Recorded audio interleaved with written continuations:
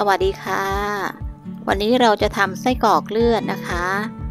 เหมือนที่ชาวจีนเขาทานกันในคลิป TikTok นะคะ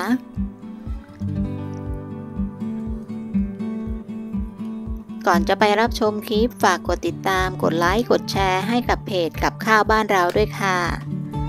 ขั้นตอนแรกเรานำไส้มาทำความสะอาดด้วยเกลือนะคะ ไส้เราจะใช้ไส้ ส่วนไหนของไส้ก็ได้นะคะ แต่วันนี้แอดมินใช้ไส้อ่อนค่ะ ขยำเกลือเสร็จแล้วก็นำไปล้างสองน้ำนะคะ เดี๋ยวเราไปดูวัตถุดิบและเครื่องปรุงกันเลยค่ะ วัตถุดิบและเครื่องปรุงของเราก็จะมีต้นหอมผักชี มีไส้ มีพริกไทย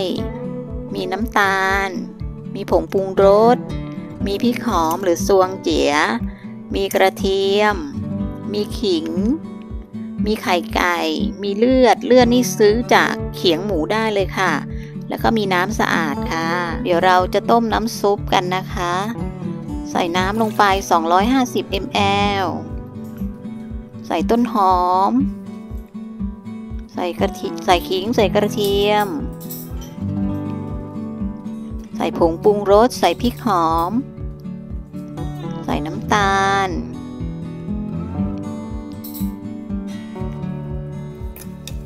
แล้วก็ปล่อยให้มันเดือดค่ะ เราก็จะปล่อยให้เดือดสัก 2 นาที จากนั้นก็พักไว้ให้เย็นค่ะ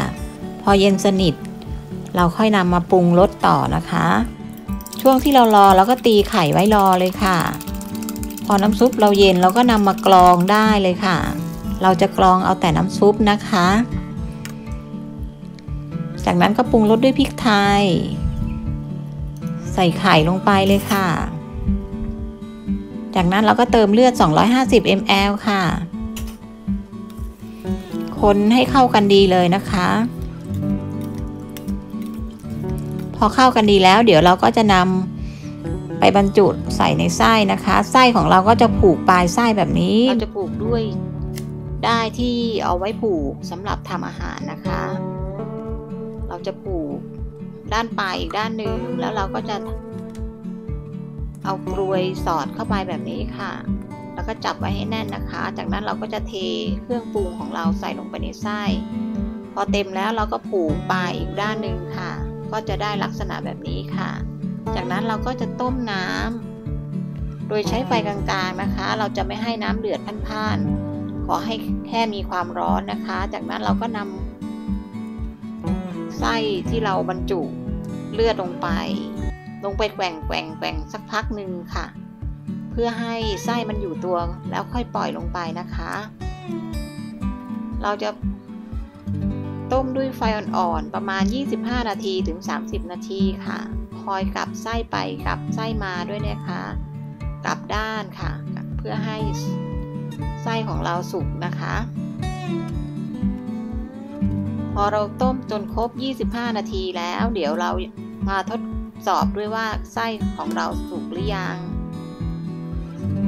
โดยใช้ไม้จิ้มฟันจิ้มลงไปค่ะ ถ้าไม่มีเลือดออกมาแสดงว่าสุกแล้วนะคะ จากนั้นเราก็จะมาทำน้ำราดค่ะซีอิ๊วขาว 2 ช้อนโต๊ะ น้ำส้มดำค่ะ 1 ช้อนโต๊ะ ขิงสับกระเทียมสับพริกเผาเสฉวน1ช้อนโต๊ะ แล้วก็พริกซอยนะคะ ต้นหอมเล็กน้อยค่ะ คนให้เข้ากันนะคะ จากนั้นเราก็จะไปจัดจานกันค่ะ เราก็นำไส้มาวางนะคะ แล้วก็ราดด้วยซอสที่เราทำเมื่อกี้ โดยหน้าด้วยต้นหอมและก็ งาขาวนิดหน่อยค่ะ ขอบคุณสำหรับการเข้ามารับชมนะคะ สวัสดีค่ะ